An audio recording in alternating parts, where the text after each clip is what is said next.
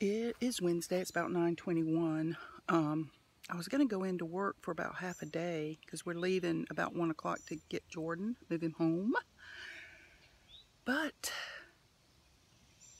I don't know if I'm going to do that. I might just take the whole day off. Yeah. It says it's 79 degrees out here, but there's a nice breeze and it just feels cool. Feels really nice out here. Yeah. We are at Scrolicious, getting ready to have some bubble tea and some rolled ice cream and shaved ice and shaved ice.